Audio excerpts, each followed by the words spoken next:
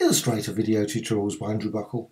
In this tutorial I'm just going to show you how you can place an SVG file, scalable vector graphic, and edit it in Photoshop. Well, not exactly. You actually have to go to Illustrator to do that, but just bring it into Photoshop. So File and Place. And I'm going to select one of these ones. Now these SVG files are Graphicxtras ones. You can find them on the Graphicxtras website, 16th century Italian type designs just click place. Uh, just make it a bit more visible. Now, unfortunately, that's just a raster layer now. And of course, if I try and edit it with a direct selection, just no, nothing.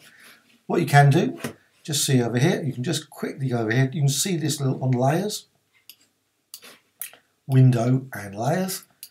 Just click there, goes into Illustrator, and I'm going to zoom in a bit because I can't select that and you can change the colour, you can resize it, do a number of things. I'm just going to resize it a bit, maybe add additional paths, so you can do a whole range, maybe duplicate the design and much more.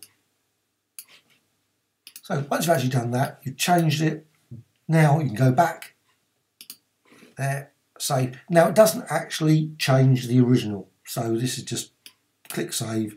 The original is still untouched at number 9 I'm just going to go now back to Photoshop. And there it is. You've got the design. And of course you can then do various things, duplicate it and much more. And of course you can still add additional effects to it, colour it. It's a smart object so you can just go over here to filter, blur and all that sort of thing. You could of course like use file open but I prefer the, the place command and it's much easier just to quickly edit the design that way.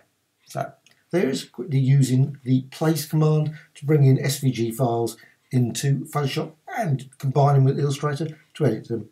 Hope you found this of interest. Thank you much.